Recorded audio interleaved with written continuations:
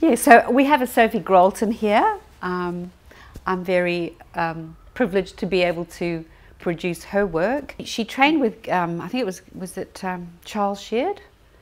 Um, but yeah, she's, it's all nostalgic, her work, but it, it is pertaining to children and um, sort of, I guess, a life.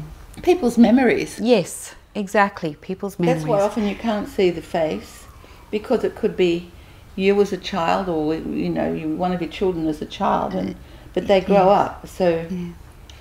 And she uses, in her artwork, she uses book plates and you know, old patterns, you know, simplicity patterns, and then sometimes even, the yes, and then sometimes even um, uh, garments, art, um, you know, items of clothing, you know, that um, are of a bygone era.